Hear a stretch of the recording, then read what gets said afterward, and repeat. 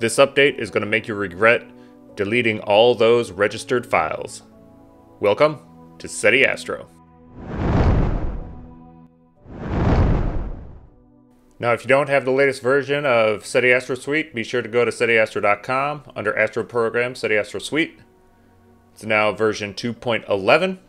Along with what I'm going to highlight today, the SETI Astro Suite now uses multi-cores on multi-core CPUs during computationally expensive operations uh, involving, you know, like all the pixels in the images. So statistical stretch, curves, things like that will now utilize all the cores for your CPU to greatly speed up the process. A couple other quick updates for 2.11. Under File, you'll see a new project. What that'll do is delete everything in your slots and masks and everything and, and bring you back to a, a clean slate. So that way uh, you don't have to like close and reopen SETI Astro Suite to get you in that state because on Macs for Mac OS 15, for whatever reason, if you're not a certified developer, it it takes a couple minutes to open. So now you can just go ahead and, and make a new project. There's also a little about me there that you can go to my website and it does have the, the latest version listed there as well. Mosaic is no longer called Mosaic, it's just star stuff. You know, we have stellar alignment, plate solve, PSF, and now we have our new Supernova Asteroid Hunter. You could also find it up in the, the toolbars here too.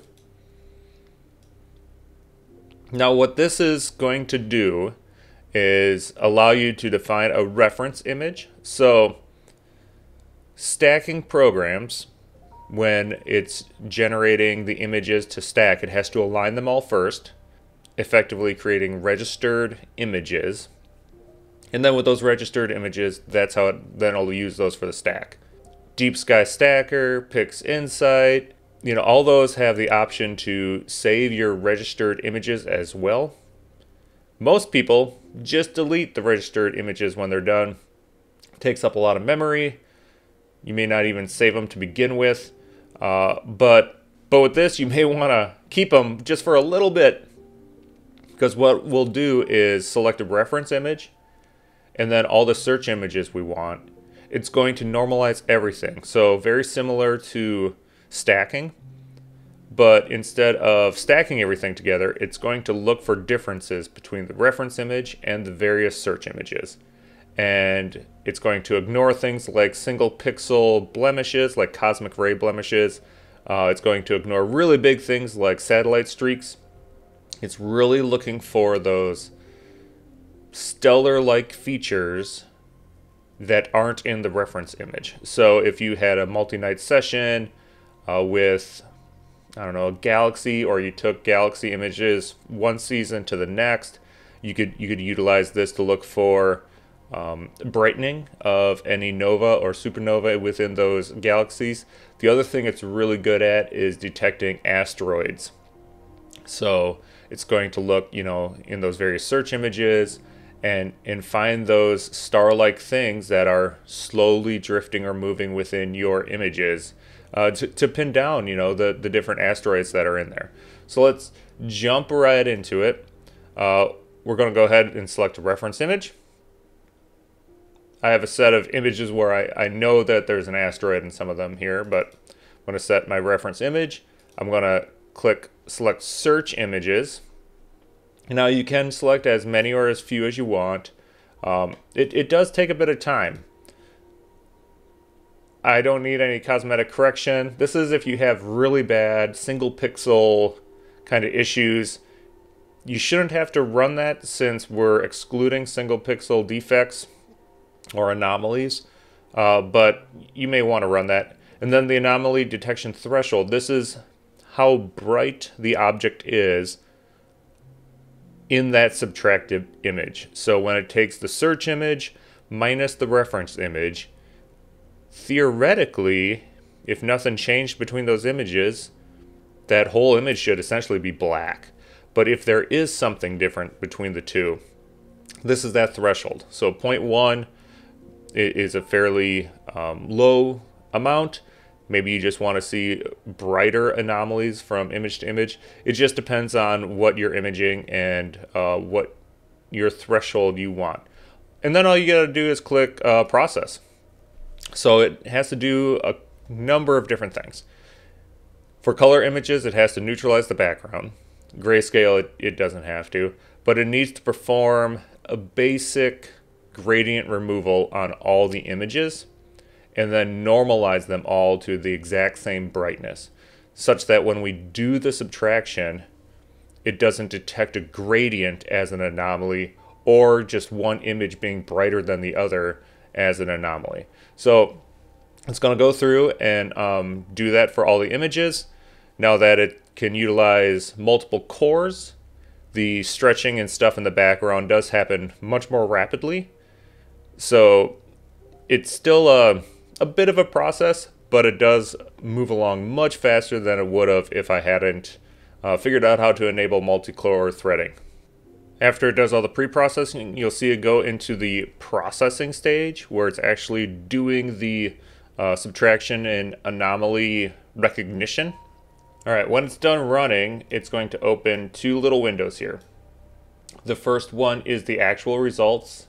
It'll show you, you know, here's here's all the image files. Here's the anomalies it found in them. Uh, you know, some of them are zeros. This one says four. And then uh, there's a, a, detailed results analysis where not only will it tell you the one or the two or the zero of them, but where in the image it actually is. But you know that's that's useful if you want to like copy and paste into some kind of a record. But the anomaly results page here, you can double click any of these and it's going to go ahead and pull up a window of your image and it's going to box the anomaly for you. So you can, you know, fit it to preview or zoom in and see exactly what that anomaly is.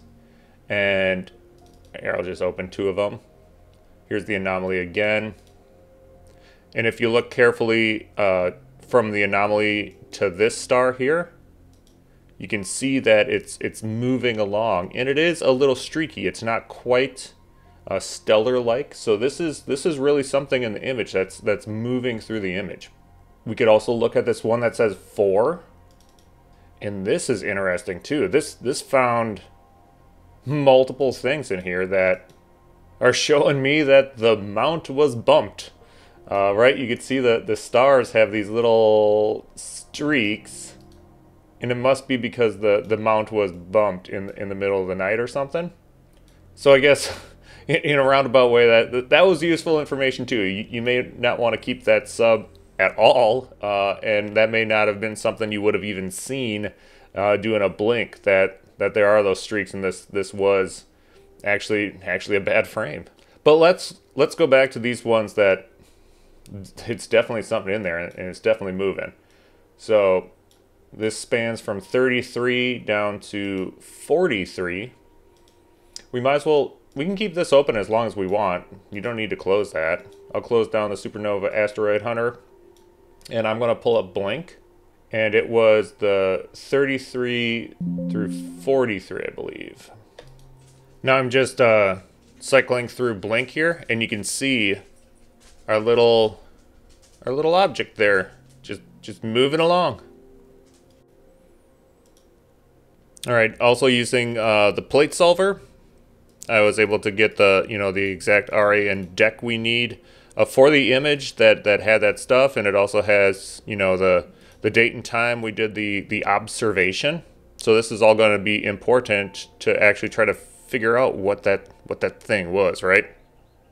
The next thing we need to do is is figure out what what that thing was. So I use Stellarium a lot of the time. I know a lot of people have Stellarium. You may use other planetary uh, software to try to figure out what the asteroid was. You could even do this in PixInsight, but I know a lot of you, if you're using SETI Astro Suite, you probably don't have don't have PixInsight. The first thing you're going to want to do is go to the configuration window under plugins, solar system editor, configure, and then under the solar system tab, click import orbital elements, and then you can download from a list from the internet. You could do asteroids or comets.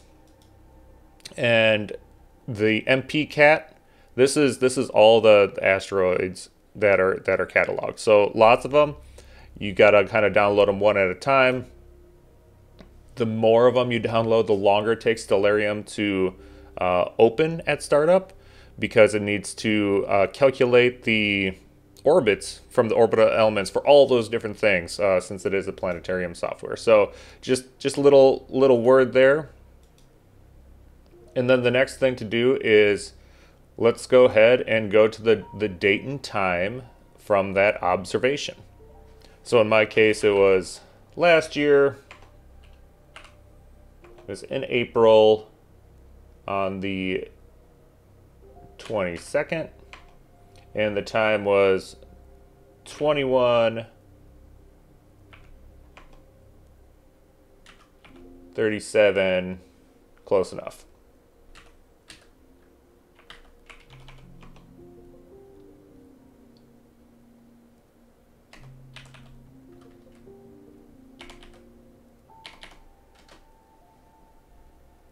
and I must start observing that as, as soon as I could. It's it's almost on the horizon, so I, I am going to tick us up here in an hour or two. It was in the extreme southern end of my view, and here's uh, the planetary nebula I was uh, capturing at the time. And look at this little guy right here, right right off the bat, 584 Semiramis type asteroid, and overlaying my sensor on it yeah, it, that's that's where it was in my image, right? It was right there in the very top of it, uh, kind of off center to the to the left.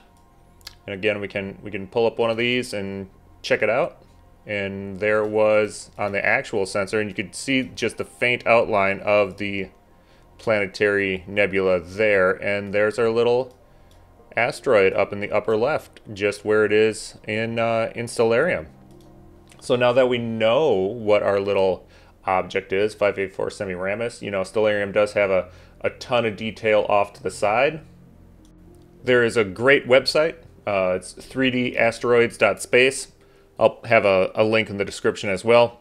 But you could you could look up these asteroids, and, and here it is, the, the little one that was in my image, 584 Semiramis. Again, it has the orbital characteristics there you can put on like the apparent color. It's it's quite dark, uh, which is not uncommon for these kind of asteroids. You can put a grid on it.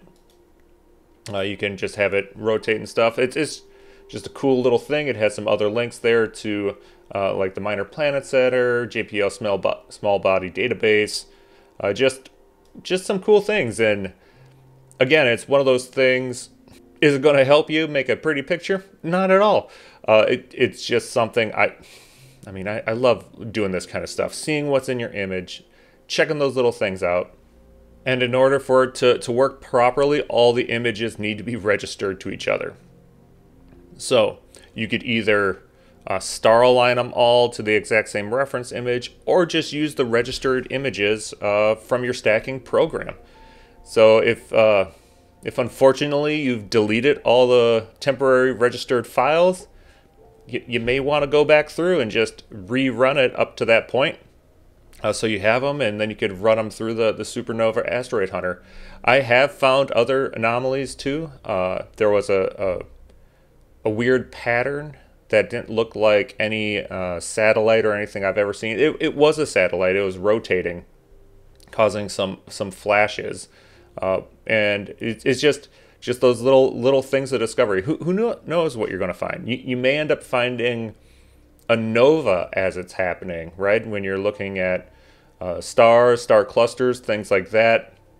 The initial reference image from one night may not have a brighter than normal star, and then you know within a few hours of imaging, or the next night when you're imaging, that star has flared up and is much brighter than it was before, that's going to show up as an anomaly in this uh, supernova asteroid hunter. So a lot of cool things uh, you can do with this if you're into doing uh, sky surveys, looking for asteroids, looking for comets, uh, things like that. It's not everybody's cup of tea, but uh, it's it's again going back to the, that sense of exploration that we're actually doing with our our telescopes. You know, uh,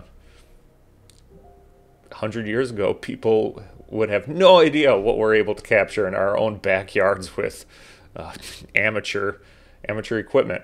So just a, another uh, cool little thing here for SETI Astro Suite. The big thing behind the scenes is for sure uh, the ability to use multiple cores on your CPU now, uh, and just a just a ton of bug fixes as well. Uh, but I'm excited to see where this is going. Uh, let me know if uh, we need to add some kind of a registration or batch stellar alignment so we can um, utilize the, the Supernova Asteroid Hunter if uh, people have deleted all their, their registered images. Please comment, like, and subscribe.